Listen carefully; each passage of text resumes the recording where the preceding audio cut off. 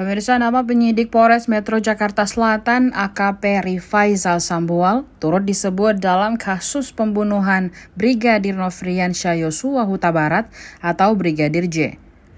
Dalam proses penyidikan, AKP Rifaizal Samuel mengaku tak berani membentak Baradae saat melakukan pemeriksaan TKP di rumah dinas Ferdi Sambo pada 8 Juli 2022.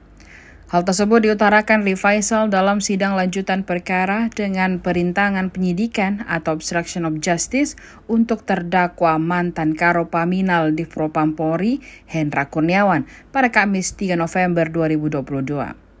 Terkait skenario bohong yang diungkap Baradae, Rifaisal mengaku percaya-percaya saja. Menurutnya, dia percaya dengan pernyataan Ferdi Sambo kala itu, mengingat Sambo adalah seorang jenderal bintang 2 sekaligus pimpinan Propampori. Bahkan dirinya langsung melakukan apa yang menjadi perintah Ferdi Sambo saat itu, yakni menyusun skenario adanya tembak-menembak.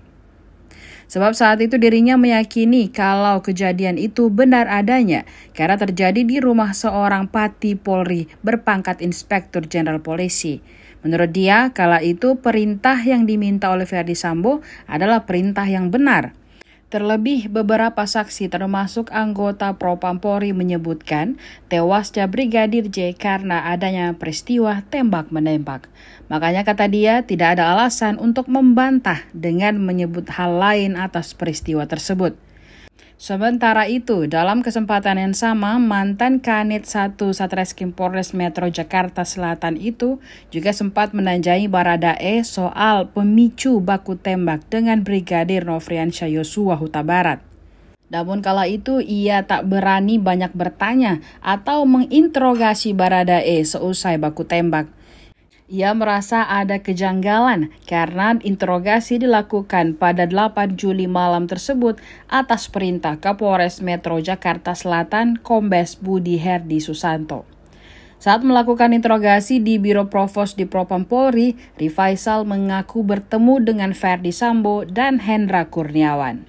Baradae yang statusnya sebagai saksi diperiksa oleh Ferdi Sambo, Hendra, Beni Ali, dan Kompol Cak. Rifaisal juga mengaku sejumlah pertanyaan singkat kepada Baradae termasuk memintanya untuk menceritakan kejadian baku tembak dengan Brigadir J. Baradae kala itu mengaku menembak Brigadir J. Di sana, Rifaisal bertanya kepada Richard mengenai pemicu terjadinya aksi tembak-menembak seperti yang diskenariokan Ferdi Sambo. Namun saat Baradae diinterogasi, Ferdi Sambo kemudian meminta ajudannya itu agar tidak mengumbar peristiwa di Magelang. Rifaisal menuturkan menurut Ferdi Sambo peristiwa tersebut merupakan aib keluarga. Maka dari itu Rifaisal tak berani banyak bertanya karena hal itu merupakan sesuatu yang sensitif.